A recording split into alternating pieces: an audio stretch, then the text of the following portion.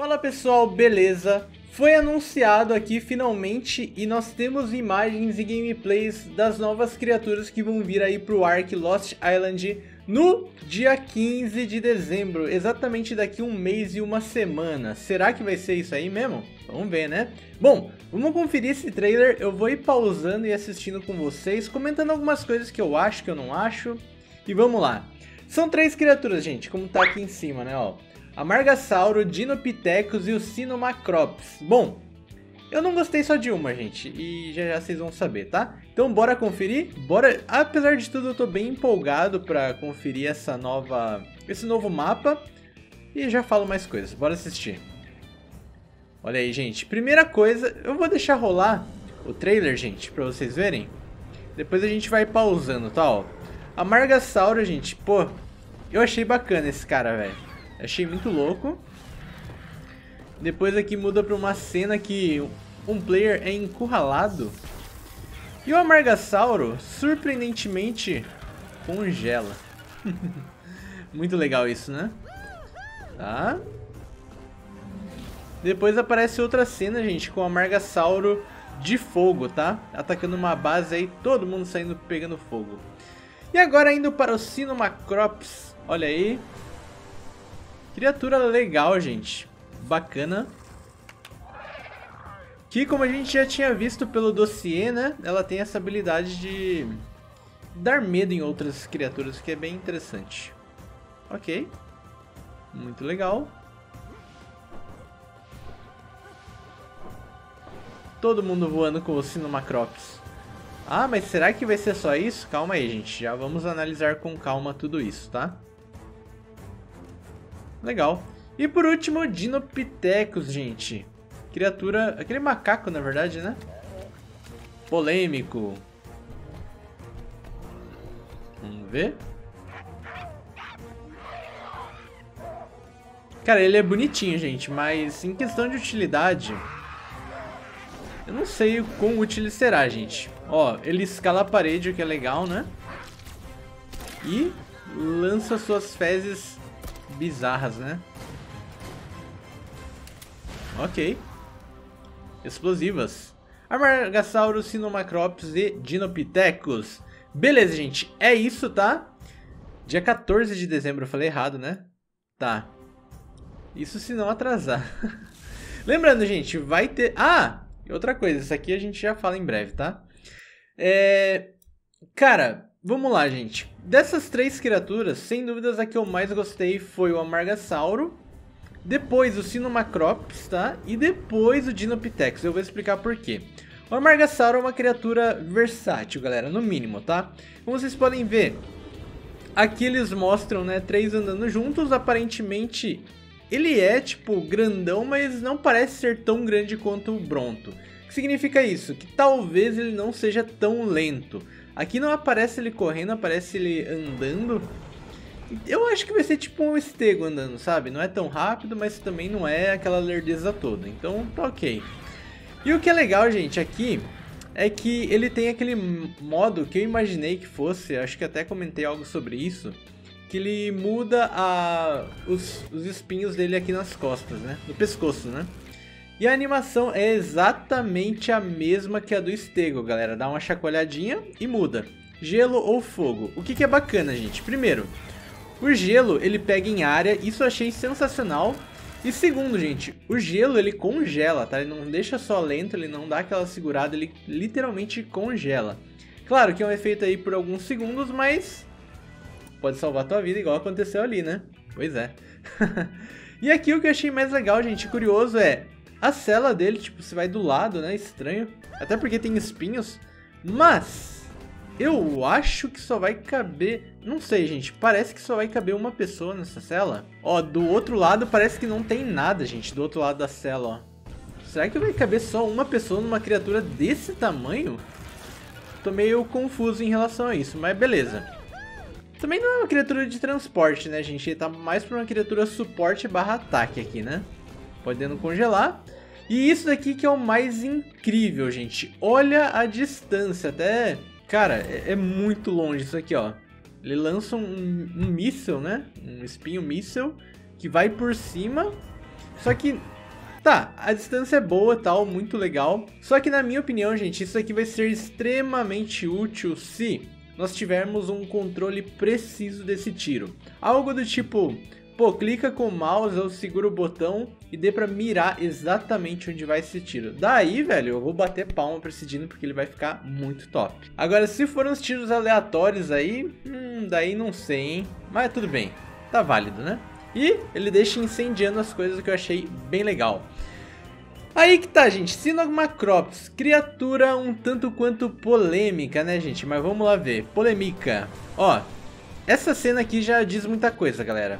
O bicho não, não vai fazer você voar, mas aparentemente parece que ele dá um dashzinho. E ó, vamos ver de novo?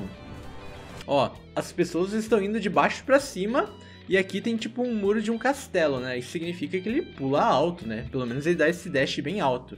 Acredito eu que é uma criatura pequena que não consiga, não consiga sustentar um voo. Não é esse o objetivo dele, né? Mas ele consegue fazer você saltar bem alto e daí sim planar igual um planador, como a gente já viu, tá? Além de que, é, essa habilidade, gente, sinceramente, o que eu posso falar? Não sei se é tão útil assim, vai ser útil de alguma maneira? Talvez, né? Essa cena que eu realmente não entendi. Acho que eles só quiseram mostrar que tinha um artefato, que alguma coisa. Não entendi por que colocaram isso, junto com o Sino Macrops. Mas é uma criatura bem pequenininha, isso eu achei legal, gente. Ele é bem bonitinho. E nas suas costas, velho, ele quase some, galera. Ele vira um Boblogzinho, né? Isso aqui, ó. Vamos lá. Ó. Dá pra ver que ele vai, daí plana. Ah, então ele só substituiu a asinha do Ark? Não, gente. Se ele, se ele dá o dash pra cima já é alguma coisa. E como até tava conversando com alguns amigos, gente, se ele tiver alguma espécie de redução de dano, já vai ser muito bom, velho. Muito bom mesmo, tá? E agora, esse carinha, gente, Dinopithecus, esse aqui eu vou te falar. Esse tá difícil de defender, hein? bom, vamos lá, gente. Quais, que são as vantagens? Criatura que anda em bando e ataca em bando. Apesar de que essa cena não faz muito sentido porque são domesticados, né? Mas eu acredito que, como tem um player no, nesse cara aqui do meio e aqui aparentemente não, eu imagino que eles tenham algum bônus em bando. Talvez você ganhe algum buff. Tem que ter, né? Senão não faz sentido você andar em bando assim, tá? Segundo, é uma criatura muito bonita, achei ele, a estética dele bem legal. Ele ataca arranhando, gente. Aparentemente ele deve ser forte, porque ele conseguiu conter um Trike, até empurrar um Trike, que é uma criatura grande. Terceira propriedade importante, galera. Escala paredes. Pô, legal, mas tá. Não é tão útil assim, né? Pelo menos da maneira que eu jogo, gente, no PvE, não vejo tanta utilidade. A não ser a versatilidade de você poder caminhar o mapa inteiro, né? Isso é legal, mas ok. E por último e mais polêmico ainda, gente, é isso aqui, velho. Pô, beleza. Ele joga cocô. Só que, cara, pro maluco acertar uma pessoa voando com cocô, olha, ele tem que treinar a mira, hein? Porque o cara é profissional, hein? Ainda mais no Ark, que é um jogo que você dá uma flechada, a flechada certamente acertou o Dino e ele não conta, né? Enfim, desculpa minhas críticas aí, mas é verdade. E aqui, galera, é, ele joga aqui uma pelota de cocô que explode uma base. Aí, Yoshi, então ele vai ser muito útil no PVP, porque não sei se vocês lembram, mas havia dito, né? Havia um dito que esse cara ia desativar estruturas tech. Até aí tudo bem, gente. Porém, o problema é que até o Snow que me falou isso, velho. As torretas conseguem explodir um projétil no ar. Então uma base teoricamente vai estar tá protegida. Então como que ele vai fazer isso? Será que o cocô dele passará despercebido pelas torretas? Ah, se for isso, daí muda tudo, né? Talvez seja até um pouco apelão. Mas eu acho que isso daí só vai ser respondido quando a gente vê uma gameplay, né, ao vivo, alguma coisa assim, ou até mesmo quando lançar. E aqui nós temos uma novidade, galera, Arquifoljur. Eu não sei nem como se pronuncia direito, mas é um mapa nórdico, basicamente. Não sei se é matemática viking, eu não vi muita coisa sobre. Mas é um mapa mod que já foi confirmado que vai ser o próximo mapa oficial que vai sair mês de junho de 2022, ano que vem, daqui a seis meses depois do incrível Lost Island. Galera, esse mapa é muito bonito. Eu, eu vi pouca coisa dele, mas o que eu vi, ele é bem legal.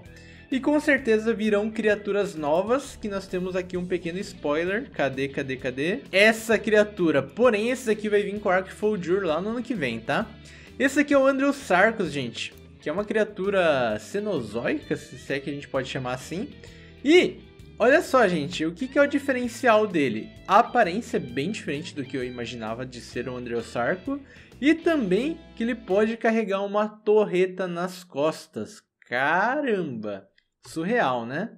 E vamos ver o que está escrito aqui no dossiê, afinal de contas ele dá informação da criatura selvagem e também domesticada. Cara, vamos ver, talvez mude muita coisa até lá, né? Mas vamos conferir. Essas criaturas desajeitadas podem parecer lentas durante a busca por uma refeição, mas podem se mover inesperadamente rápido quando provocadas. Como alguns outros Whippomorphs, Androsarchus irá defender agressivamente seu território contra intrusos. Com alguma distância entre vocês, pode ser possível desviar de Andreosarcos em carga. Eles não giram muito bem. Só não espere que um rio ou lago proteja de um. Enquanto seus pés puderem chegar ao fundo, Andreosarcos abrirá seu caminho em águas profundas. Esses necrófagos rasgam quase qualquer coisa se estiverem com fome, mas têm uma queda por doces. Já vi muitos andreosarcos agitados pacificados por um pouco de mel. Tá, vai ser uma criatura que anda vagarosamente pelo mapa, porém, com certeza, quando a gente se aproximar, ele vai ficar bolado. Porém, o que eu percebi, gente, é que deve ser uma criatura que tem um raio de giro muito grande, né? E deve ser difícil, deve ser fácil, na verdade, de escapar dele. E deve ser difícil, consequentemente, dele acertar você. Essa parte do rio, eu não entendi muito bem. Eu acho que ele vai conseguir entrar na água e atacar muito forte debaixo d'água. Talvez algo assim, né? E também dá pra ver que ele gosta de mel. Então talvez uma mecânica parecida com a do urso ou de algumas criaturas que a gente pode chamar atenção com mel, né? Uma vez domesticado, Andreosarchus é um animal de carga confiável e rápido, contanto que você não precisa fazer curvas a toda velocidade. Sua densidade na água também torna o Andreosarchus ideal para procurar pérolas no fundo do oceano, uma vez que afunda rapidamente e o design da sua cela preferida inclui uma minigun montada para alvejar os inimigos enquanto o motorista permanece seguro dentro do seu compartimento blindado hermético. Ah, embora o Androsarchus totalmente blindado não consiga absorver tanto dano quanto algumas das criaturas maiores do Ark. Galera, agora que eu percebi, eu não tinha lido até então esse dossiê. Cara, isso aqui é blindado, a gente vai estar tá lá dentro e como ele afunda na água, por isso que ele tem essa capacidade, digamos assim, de atacar dentro da água. Eu acho que a gente vai estar tá com oxigênio para explorar o fundo do mar com uma torreta nas costas. É, é interessante, galera. No mínimo interessante. Espero que eles equilibrem bem essa criatura, porque eu acho que tem potencial, galera. Pelo menos tem um diferencial de entrar na água, de ser uma cabine fechada e tal. E ele tem a desvantagem de não conseguir fazer curva. Eu não sei como é que vai ser isso, gente, mas eles deixaram bem claro que ele não é bom de curva, tá? Mas isso ainda vai demorar muito tempo, gente. Primeiro vamos focar aqui no nosso Lost Island, porque já tá aí, né? Espero que vocês tenham curtido esse vídeo e pessoal, quando lançar, pode crer que vai ter série aqui no canal, então se inscreve aí, compartilha esse vídeo, tamo junto, até a próxima, falou!